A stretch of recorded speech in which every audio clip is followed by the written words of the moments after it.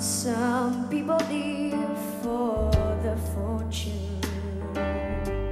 Some people live just for the fame. Some people live for the pain.